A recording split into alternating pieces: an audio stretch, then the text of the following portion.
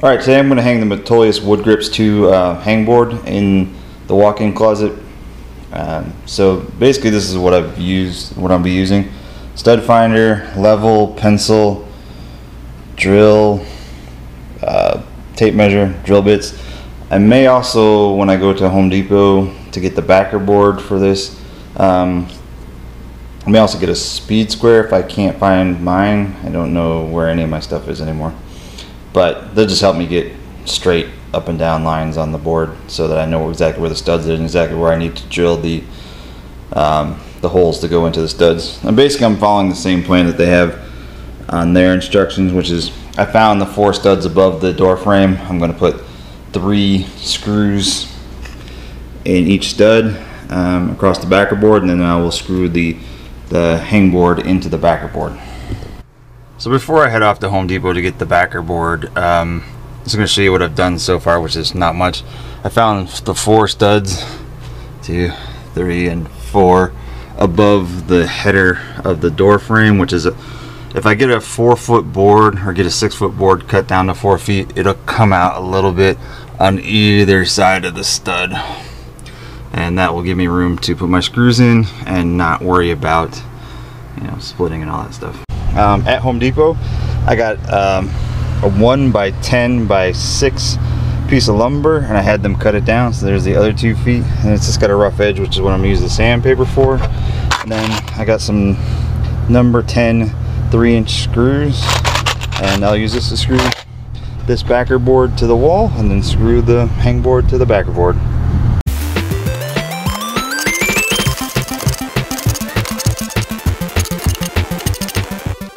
Here I realized that my markers for where the studs were were too high, so instead of trying to transfer them down and keep them in line, I just used the stud finder to move them down.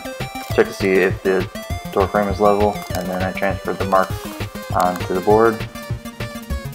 Now I'm actually drilling into the wall to see if there's actually studs there or not. Um, I never trust this stud finder. Really, I don't know how to use a drill anymore either.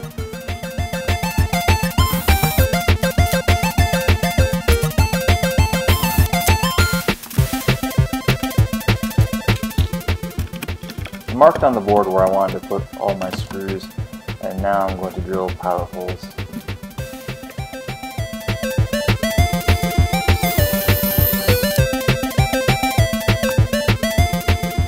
Now I've come to the realization that I need more hands than I have.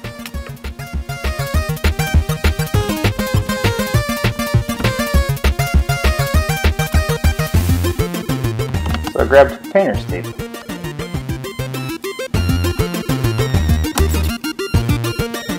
I'm trying to line up the original pilot hole in the board with the pilot hole that I made earlier in the wall. Then I realized that that was a dumb idea. I just need to tape the board to the wall and start over again.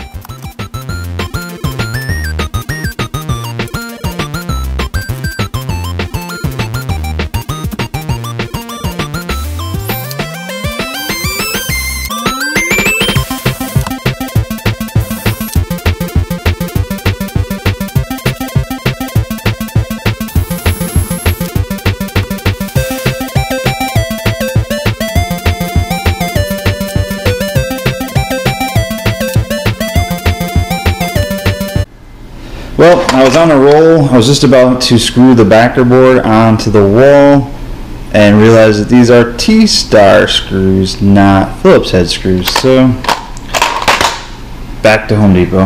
I ran to Home Depot and I got the correct screws, but through some trial and error, now I'm realizing that I not only have to drill pilot holes for every screw, but I need to use a larger drill bit so I can countersink the screws.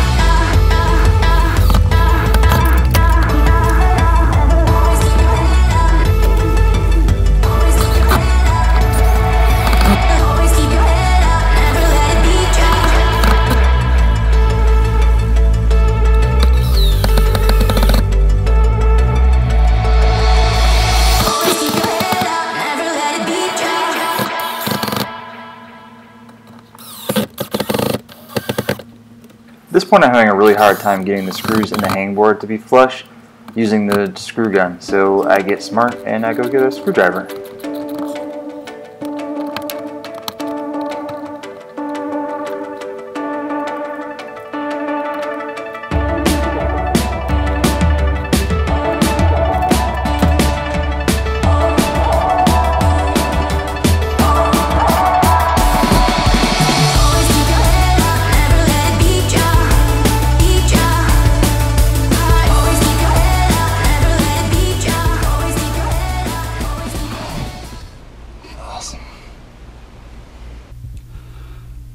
Well, it took me about three and a half hours, but it's up. Um, a couple of things that I would do differently next time. I would get a, a countersink bit because the because the screws are so long.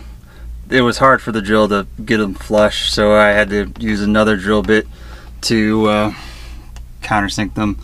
And then with the the screws and probably these screws as well, but the screws in the um, hangboard, I would just use the drill to get them about 98% in, and then just hand tighten them the rest of the way. Otherwise, you're going to start stripping the screws. But otherwise, it turned out really well. Um, I hung from it, didn't fall to my death. It stayed on the wall, so I guess it's a success.